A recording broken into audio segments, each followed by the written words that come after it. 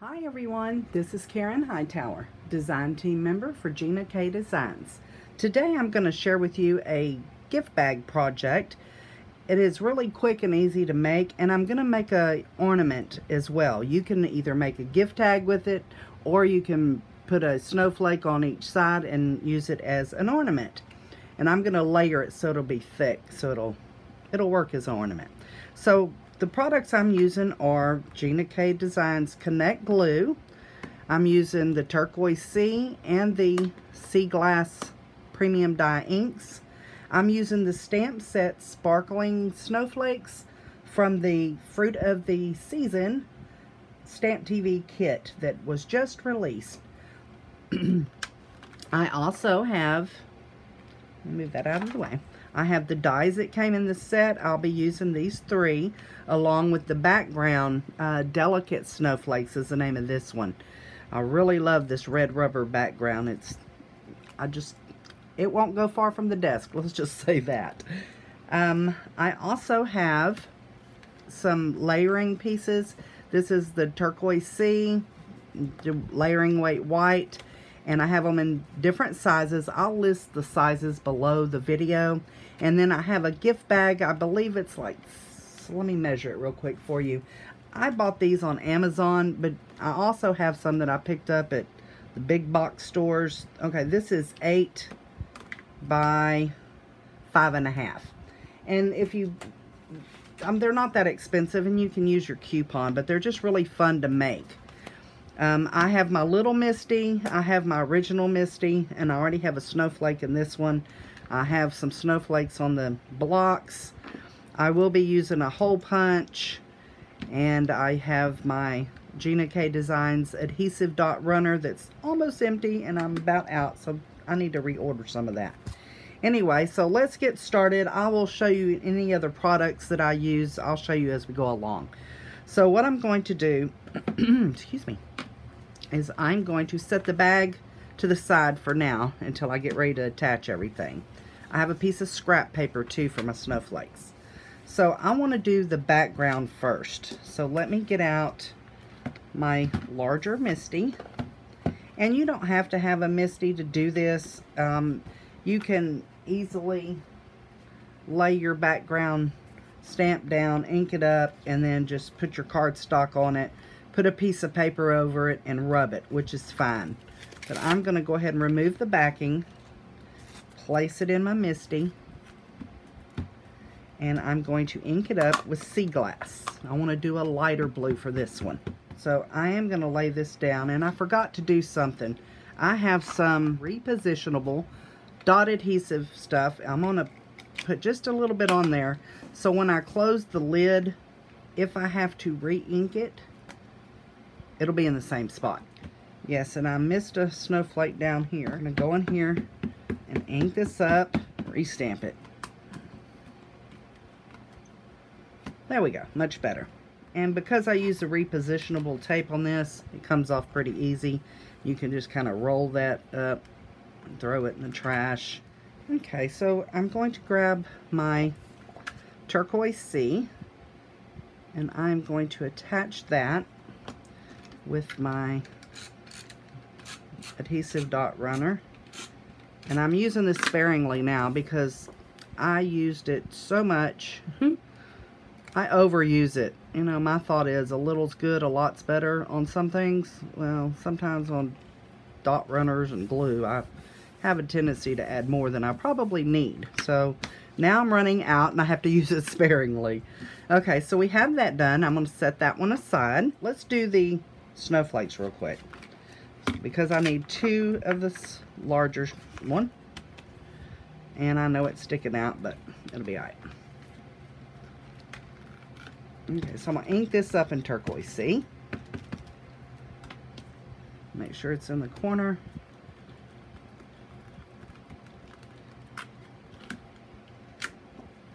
There we go. And I need to because I need a front and a back to my ornament so I'm going to ink it up again real well. And I'm going to stamp it. Make sure everybody comes in contact with the paper. There we go. Small little snowflake. ink it up. I'm just going to stamp it and I'll die cut these in a moment. This one's really pretty. In the scrolls, it has little holly leaves at the end of the snowflake and in the center, which I thought was really pretty and unique. There we go. See the little holly leaves? Okay, so we're just going to this over here like so. I just eyeball it. I'll center this one and the little baby one. And I'm going to run this through the die cutting machine and I'm not going to make you listen to that really loud thing. so I will be back in a moment. So I have all my snowflakes cut. Let me take the tape off of them. And sometimes when I'm doing this, I will go ahead and stamp out a whole bunch and die cut a whole bunch. So when I get ready to make another card and I need them, they're all ready to go and I don't have to stop and um, cut them, I cut them. Okay, so now I'm going to grab my small panel. I'm going to use the, if hugs were snowflakes, I'd send you a blizzard. I love that greeting. So let's stamp this in the turquoise sea real quick.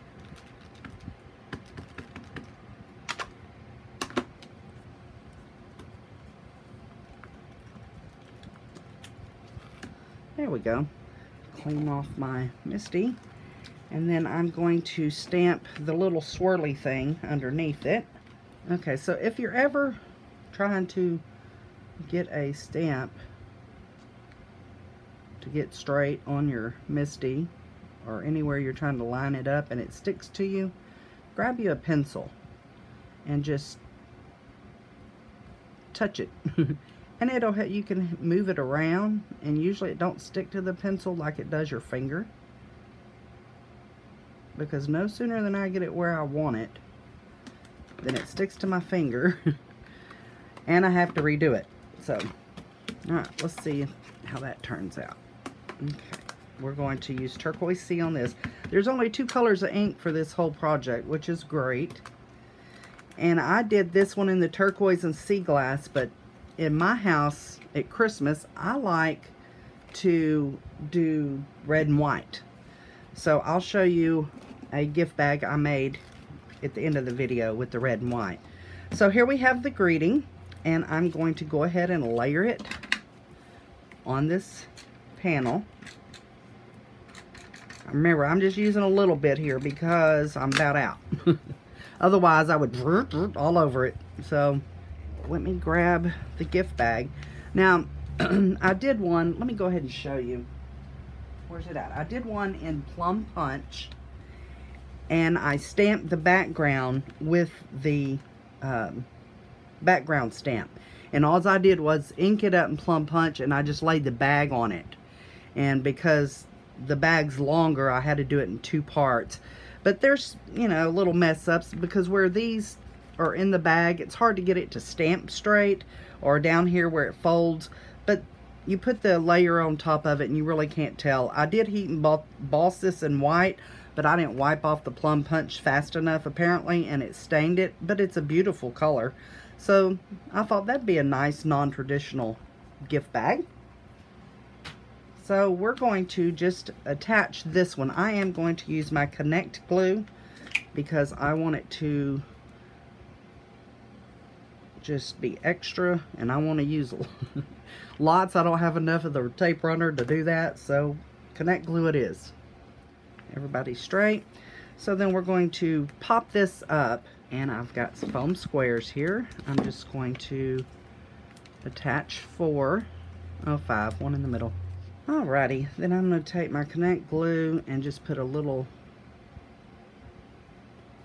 dot up here then I'm going to put this one at the bottom. And then you can go and take some bling and you can use Nuvo drops. You can use any kind of bling you have or want to use.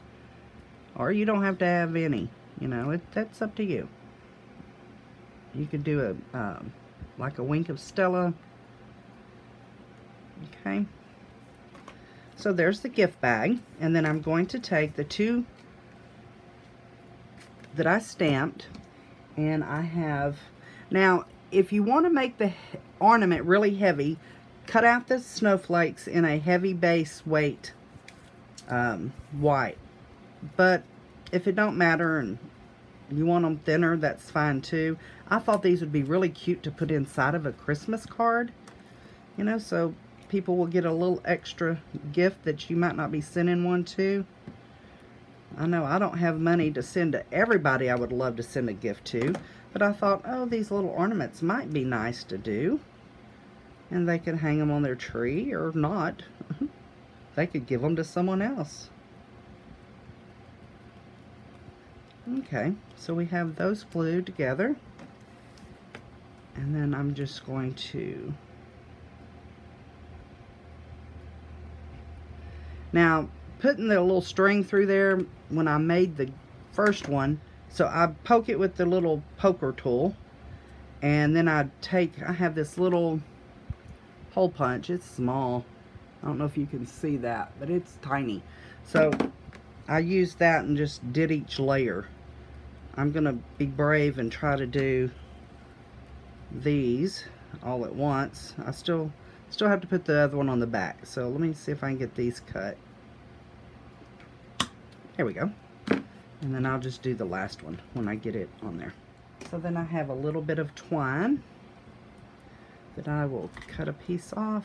And if you want to use this as a tag, you don't have to put the back part on it. You can just do it one layer and then you can write on it to and from or a little message okay and so then I grab some more bling and I'm going to add bling around here this is these are the iridescent ones which are really pretty because they pick up a lot of different light but they're not small enough for me I really like the tiny ones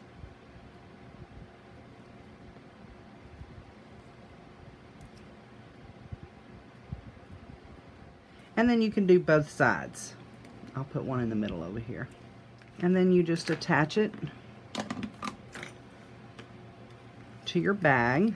If I wanted it for a tag, I would tie it up shorter so it would hang about right there.